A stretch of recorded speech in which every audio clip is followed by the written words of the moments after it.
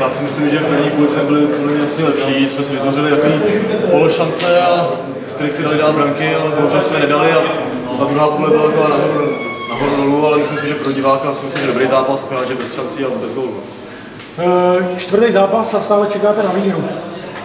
Čekáme, no, já si myslím, že nehrajeme špatný fotbal, ale bohužel dáváme góly a když nebudeme dávat góly, tak nemůžeme vyhrát. Hmm, čím to je, že vepředu to nejde?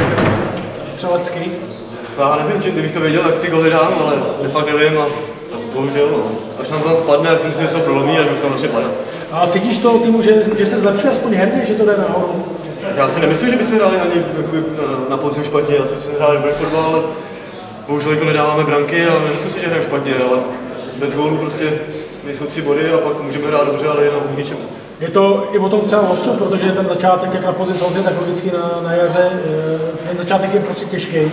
Že tam jsou většinou ty týmy ze zora pro vás. Jo, těžké, ale zase to jsou týmy, kteří chtějí hrát fotbal a to si myslím, že je pro nás lepší, než hrát doplněk, ale říkám, nevím, co k tomu říct, no. když nedáte branku, tak neporazíme nikoho. Hmm. A ty se cítíš jak teda? Já se cítím dobře, ale ničemu.